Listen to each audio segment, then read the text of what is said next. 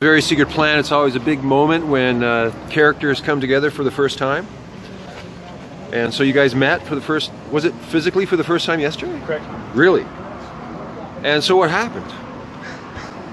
Well, after an interesting run-in with directions and meeting in communications as to where the pickup point should be, we did arrive. Kind of a rough and tumble approach. There's this wild jeep that pulls up. Lazelle's sitting right next to it. It's just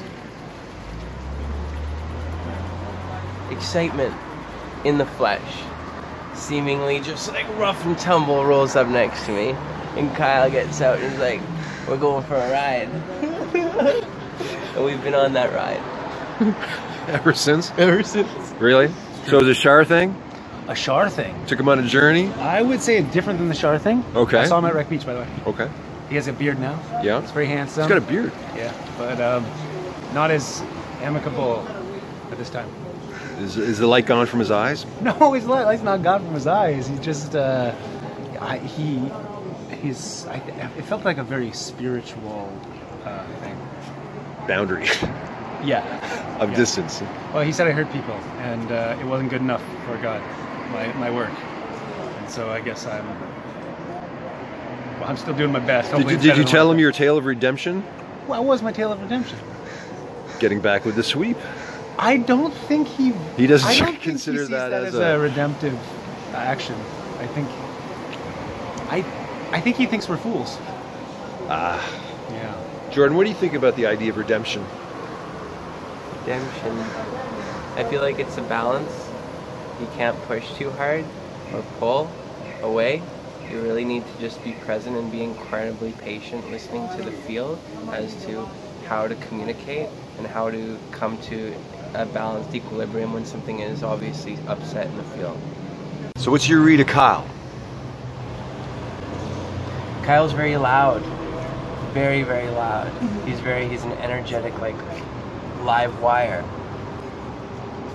But he makes things fun and he makes things safe. Safe, sort of. Kind of feel like there's a bit of uh, there's a roughness and some things get maybe like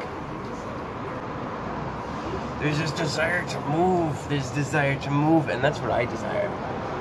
I desire to move. And so when when he's around, I feel he's creating a movement which I can like move into, and it's very fun. It comes with a funness, and that funness like helps me reclaim my authentic self, my desire to experience bliss. Tell me about Jordin. You just met him. Yeah. What's he like? I like him. I trust him. Uh, he his his language of movement. His movement is language.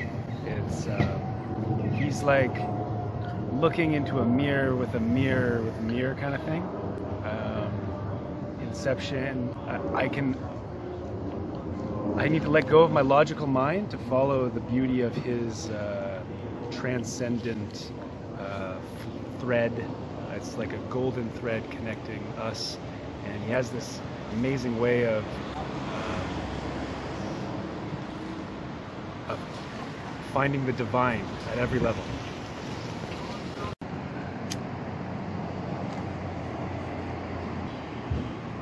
So I'm, I'm with Kyle and Jordin. Captain Sweep is seeing the beginning of characters coming together who haven't met, and how that's a big piece of the puzzle of the Very Secret Plan is to bring together the 20 main characters in the Very Secret Plan. Kyle and Jordin are two of them coming together today.